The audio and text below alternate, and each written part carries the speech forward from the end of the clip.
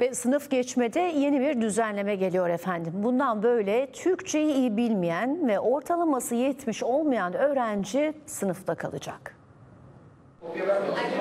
Sınıf geçme sisteminde yeni uygulama başlıyor. Türkçe ortalaması 70 olmayan öğrenci artık sınıf geçemeyecek. Başarısı daha düşük olan öğrencilerin kalması bence daha güzel bir şey. Yeni uygulamayı Milli Eğitim Bakanı duyurdu. Bakan Yusuf Tekin Türkçeden 70 alma zorunluluğu getirdik dedi. Temel eğitim yönetmeliğinin detaylarını anlattı. Aslında iyi olmuş bence. Bakan Tekin tarihte verdi. Yönetmelik önümüzdeki hafta açıklanacak, ardından yürürlüğe girecek. Buna hani olumsuz bakabilirim ama başarı açısından bence olumlu bir şey. Orta öğretimde sınıfta kalma geri gelirken artık 6 dersten kalan öğrenciler de sınıf tekrarı yapacak.